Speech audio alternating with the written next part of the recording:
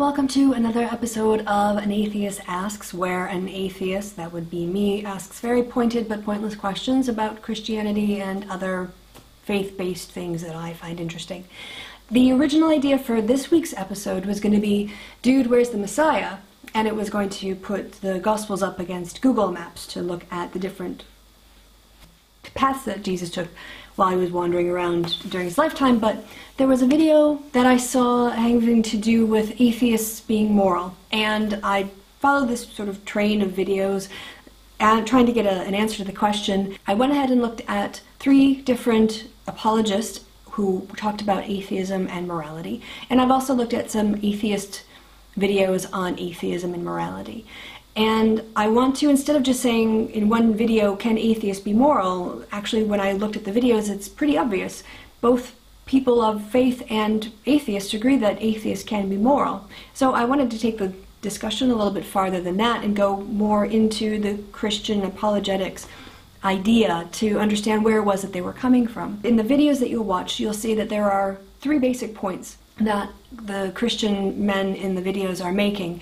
One, they all agree that atheists can be moral. They can behave quite morally, that they can, you know, that they're not running around killing people. The idea that somehow you can't be a moral person and be an atheist, they don't even try to defend. And of course, atheists will say, Of course, I'm being a moral person. You know me, look at me, I'm, I'm a moral person.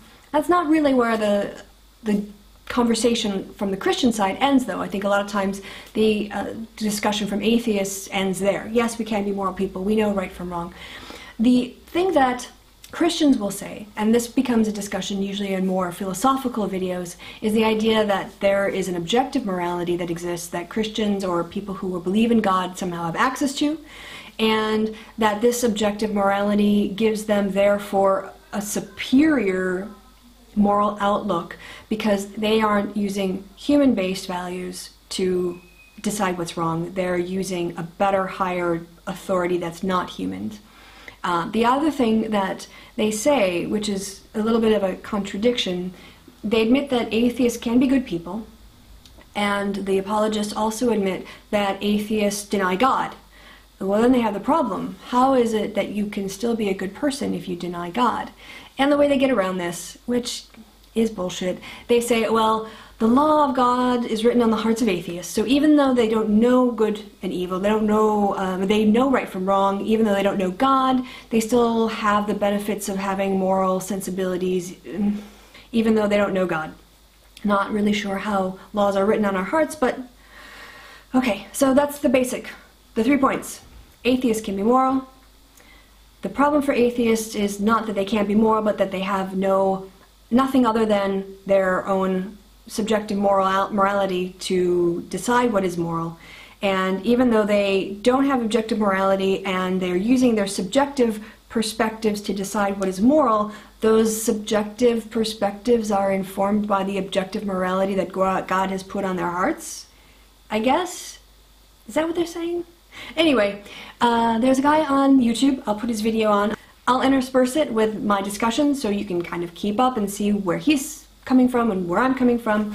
He kind of starts out by saying that because 95% of people agree that murder is wrong, or that 95% of people agree that murdering or harming a child is wrong, that that shows that we all have access to some kind of objective view of morality, or of murder, or of harming a child. When I look at different people's beliefs around the world, it seems that, gosh, like 95% agree murder is wrong.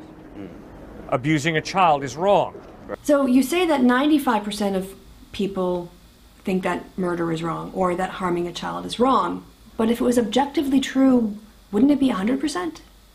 So the idea that 95% suddenly gets you to objective reality, eh, eh, got some problems with that. The other question is, what is murder? Right? Because if you want to say that murder is one person killing another person. And we're saying that that's objectively wrong because everybody agrees on it. Well, not really. I mean, there's a lot of exceptions. Self defense is a pretty good exception. Uh, being in war and having to defend your homeland. It seems kind of weird to just say murder is objectively wrong when there are clearly a lot of times when we say it's not wrong. That, I think, is a bit of a problem. Right. It's like we're playing in this orchestra and we're all reading off the same sheet music Right. around the world. Right.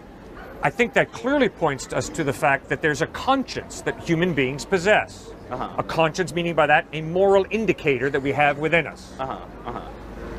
Now, I think it's obvious that our moral indicators insist there's objective morality. Uh-huh. My experience of life is certain things are really right and other things are really, really wrong. Right. And I would argue that's moral experience. And I'm not entirely sure what a real moral thing is or a, a moral experience. I mean, if he's saying that it's a moral experience, isn't experience what it's, it's not coming from God? It's it's an experience. We're observing it, we're experiencing it, we're learning. That doesn't seem to me to be objective morality if we're calling it moral experience. Now, if that's true, that some things are really truly right and other things are really truly wrong, there's got to be some moral lawgiver. Now, he hasn't actually established that things are truly right and truly wrong. He conceded that 95% of people say that murder is wrong. Because when we say that something is objectively wrong, we're saying it's real. Well, this is physically real. My sense experience tells me this is here, this is real. Right. But you see, my conscience tells me that this intangible value, not material, this intangible value of justice is real. How did we all get to the idea that murder is wrong? There's a really simple answer to this the ability to observe the consequences of murder. I mean, he's putting murder in this really special category, or harming a child, because they are moral observations, moral uh, things that lead us to a concept like justice. But if you think about human history, there are a lot of things that human societies came up with independently mathematics, astronomy, navigation, farming, uh, architecture. I mean, all of these things demonstrate that human beings had pretty consistent experiences because the universe that they are occupying behaves in a, in a similar way. But we don't consider God the source of knowledge for agriculture. We don't consider God the source of knowledge for navigation or for astronomy. So, why would it be the case for a concept like justice and not something as as abstract as looking at the pattern of the stars in the sky and matching that to the seasons? Now, in order to have an intangible value of justice, you have to have a mind. Inanimate matter has no ability to understand an intangible value of justice. You got to have a thinking mind. Right.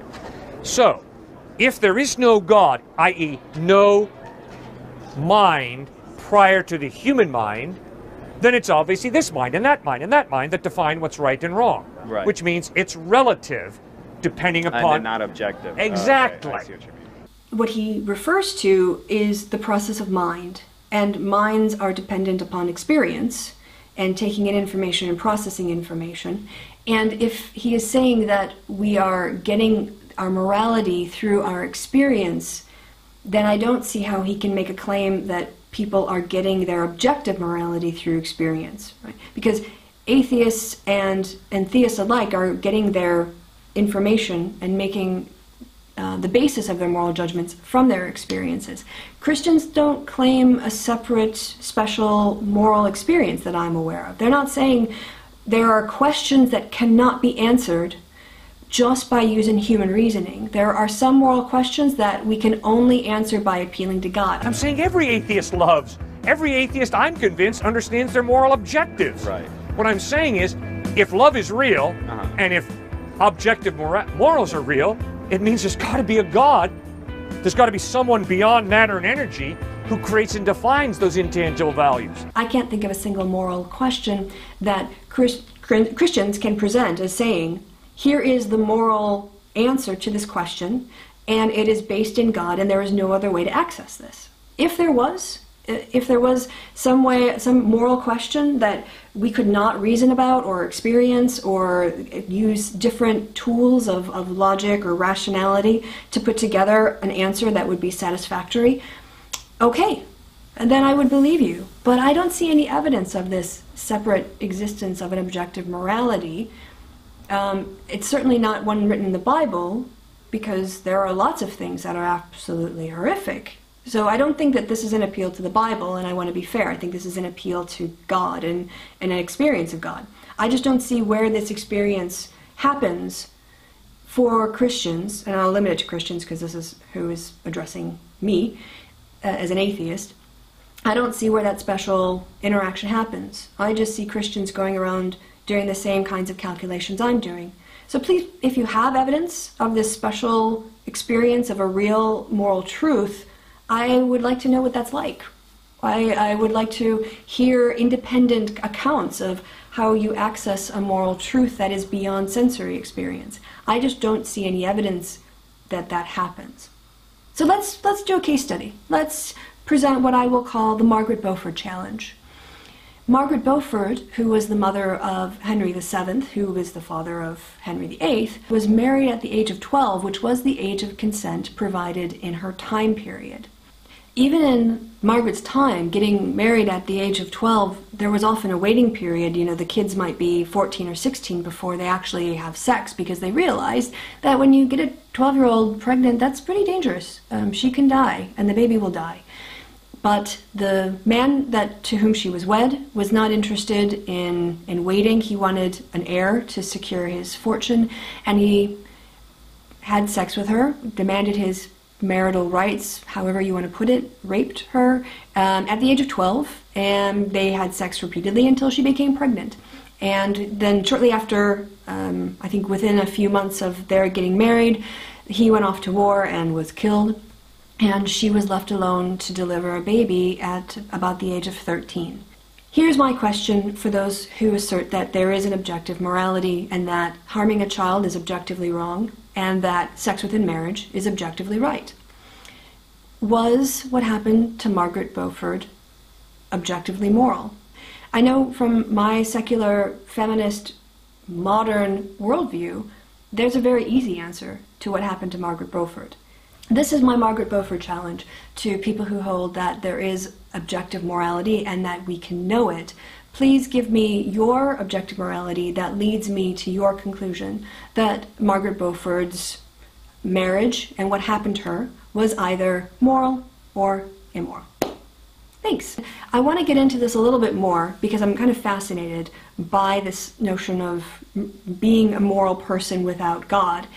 I'm going to be starting as part of my An Atheist series just examples of how I can get to a moral conclusion without using God. I'll probably start with the big ones like murder and lying and, and stuff like that. But if you want to know what it's like to be someone who does not make a reference at all to God and yet still be able to come to a moral conclusion, then maybe you'll find that series interesting. That about wraps it up for me. This has been An Atheist Asks. Thanks for watching.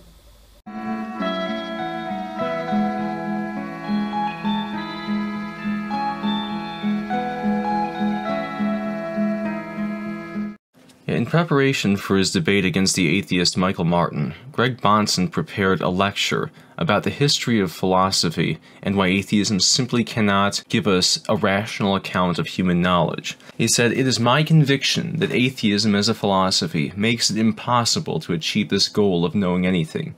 Human beings seek to understand themselves and the world in which they live to make their experience intelligible. With knowledge, people gain control over their environment, which makes their lives more comfortable and safe. As a person becomes more intellectually mature, he brings discipline to the area of study that interests him. He seeks greater precision, coherence, and clarity in his thought. This scientific level of understanding to those various aspects of experience is never an end for human inquiry such questions will inevitably arise out of the, the nature, extent, and assumptions of science, especially about the relationship between the different sciences. This brings us to the consideration of philosophy. Philosophy is concerned with the presuppositions that arise in any field of study. It seeks a world and life view in terms of which all the elements of human experience can be unified into a single coherent outlook. Philosophy has a critical function and a constructive function on the other. It seeks to cross examine claims to the truth and create a unified picture of reality. Philosophy forces us to think about questions about the nature of reality, how we know what we know, and how man ought to behave. So philosophy will ask the following four questions. 1. What are the ultimate principles by which we answer philosophical questions about reality, knowledge, and ethics? What are the principles that render experience intelligible? Are the principles logically consistent? Are they explicable in a language? And are they justifiable or just arbitrary? Secondly, how shall we understand nature? Is there any underlying unity through change in the way things appear in the world? Is there an objective order to the world? And if so, is it purposeful? Number three, what is man's place and function in the world? Does man have dignity? What is the meaning of life? And how do values fit into the realm of nature? And four, is man's mind self sufficient? Is reason an instrument for painting objective knowledge about reality? Should man follow his observations or rational conceptions? How do senses and reasoning relate to each other? Everyone utilizes some network of presuppositions regarding these matters. Philosophy forces a critical investigation of differing worldviews. Why is it that philosophers don't come to an agreement on these basic issues? There are profound differences between the worldviews of those who are disputing. Those worldviews will control which way in which factual evidence is accepted and interpreted. Thus, these disputes are not resolvable by simply observing the world. Conflicting presuppositions about reality, knowledge, and ethics determine what a person takes to be problematic, what can be taken for granted about experience, and what kind of method to follow. Adherents to different worldviews argue past each other and come to radically different conclusions. Any fruitful debate over the philosophical question of the existence of God will come down to an assessment of conflicting worldviews.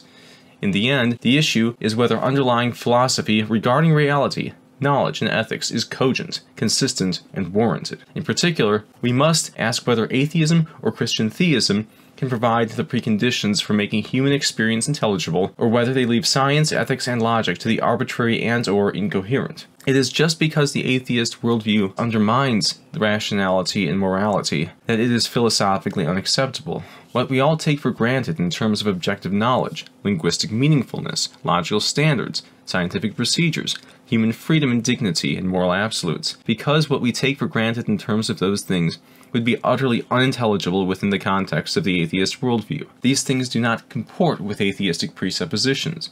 When the atheist tells us there is no God, and that all there is is matter and motion, it becomes impossible to give a rational account of objectivity, human freedom, moral absolutes, science, laws of logic, etc. On the other hand, the worldview of Christian theism is the philosophical perspective in which all of those things are intelligible. The atheist who attempts to use those things to refute Christianity is assuming the very thing he's attempting to refute. Anti theism presupposes theism. The proof of Christian theism is that without it, you cannot prove anything.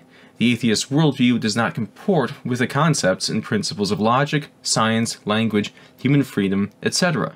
It cannot prove or give an account of anything. Atheism fails as a worldview and profoundly refutes itself. The atheist cannot know anything whatsoever you will find that in response to their inability to give an account for human experience, they will dismiss the questions of worldviews and consider it unimportant. The one thing the atheist knows for certain to begin with is that God is not going to be allowed to exist. If the atheist needs the existence of God to have a credible worldview, then it would be better just to say they don't need worldviews. It's just because the atheist worldview cannot provide the preconditions for intelligibility that the atheist worldview makes it impossible to argue for the atheist worldview. It's not just that the atheist cannot prove that God does not exist, the atheist can't account for anything. God has made his existence and character clear to all men. The evidence for God's ex- existence is pervasive and inescapable. Because God's existence is the precondition for the intelligibility of man's experience, those who deny God are thinking foolish. I'd like to illustrate this point with some philosophers from the past. They were committed to a rigorously empirical theory of knowledge the attempt to develop this kind of outlook has always proved unsuccessful and self refuting. Epicurus, for example, was born in 341 BC and was a materialistic atomist in his metaphysic. He was a qualitative hedonist in his ethics. He held that philosophical methods should begin with the plain facts of sense perception and shape all opinions in terms of these perceptions augmented by the demand for non contradiction. Following Democritus, there is no such thing as spiritual reality. For reality is composed of an infinite number of qualitatively identical and self-propelling atoms, whose arrangements and motion explains the qualities of things and their behaviors. Everything that exists, even the gods and the human soul, are explained materially and naturalistically. The problem is that the premise that all knowledge is perceptual in nature is not one that Epicurus knew on the basis of perception itself. Thus his philosophy refutes itself. Everything is known by perception according to him. Does he know this on the basis of perception? Secondly, what Epicurus said about reality could not possibly have been known by means of perception. He believed in the existence of imperceptible bits of matter, but he did not know this by perception. He believed that these bits of matter were infinite, but he didn't have infinite perception of everything. These infinite bits of matter were in ceaseless motion, but how could he know that? He would have to be watching them all the time. On the one hand, he wanted to be strictly empirical, but the empiricism undermined what he wanted to say about reality. Thirdly, his naturalistic atomistic theory of reality could not explain men as having free will, since man is nothing but the mechanical combinations of atoms falling through empty space. He offered a theory that there must have been a swerve in the fall of these atoms, which account for man's unpredictability, which we call man's will. For some reason, one atom swerved and caused a billiard ball effect, and this is what brings humans free will. Even this deprives man of purposeful choice and leaves us with the conclusion that since our brains are mechanically determined by the swerves of atoms, we therefore have no basis for trusting our reasoning. If we can't help but think what we do, why bother with philosophical investigation in the first place? Fourthly, how could Epicurus know that there was no afterlife? How did he know it through sense perception? It doesn't seem likely. David Hume, the Scottish skeptic, was born in 1711. He had a strictly empirical method and anti-metaphysical prejudices. Hume advanced a strictly empirical criterion of meaning. He said, When we entertain, therefore, any suspicion that a philosophical term is employed without any meaning or idea, we need but inquire from what impression is that supposed idea derived. This kind of rigor would lead us to take into the hand any volume of divinity or school of metaphysics, for instance. Let us ask, does it contain any abstract reasoning concerning quantity or number? No. Does it contain any experimental reasoning concerning the matter and fact of existence? No. Commit it then to the flames, for it can contain nothing but sophistry and illusion. A cautious philosophy will note that the outcome of a consistent application of Hume's empirical method, from which Hume did not flinch, is that our common philosophical notions, for all their use and importance, prove to be false and nonsensical. We have no empirical impression of any underlying identity through change, either in the supposed objects of the external world or in the selves as the subject of these sense impressions.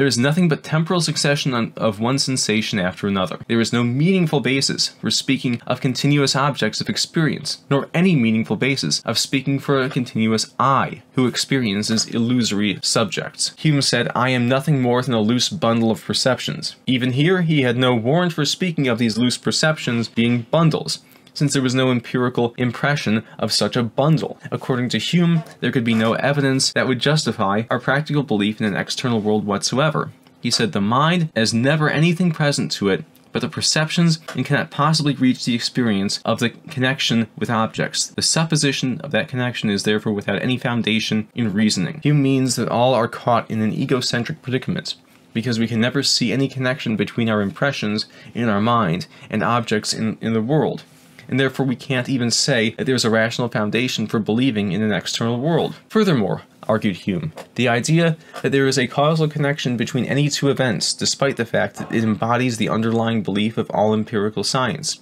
is likewise without any rational foundation. While you may experience a succession of events, you never perceive a necessary or causal connection between the events that you experience. Hume said we can never observe any tie between them. In this case, science can only report past observations to us, and every event to us is a brand new event about which nothing can be rationally said by way of induction, inference, or future prediction. Hume's strict empiricism landed us into utter skepticism by his own admission. Hume's philosophy led to skepticism about God, the external world, the existence of the self, and all scientific reasoning. Even Hume's attempts to explain why humans engage in inductive reasoning, he said, by force of natural instinct or habit, they do this regardless of rational justification.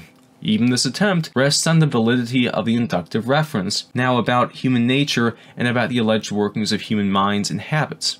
Furthermore, any attempt to mitigate Hume's skepticism by turning toward a pragmatic interest in action and problem solving rather than in the theoretical demands of a philosophy is not only a philosophical cop out, but it rests upon the premise of experience and regularities in the behavior and nature of man, from which generalizations are allowed to be made into successful plans of action. Even the pragmatic attempt to deal with Hume's skepticism rests upon the very regularity of nature in which Hume's philosophy rules out as illegitimate. Hume's anti metaphysical empiricism proved to destroy any objectivity, rationality, and science.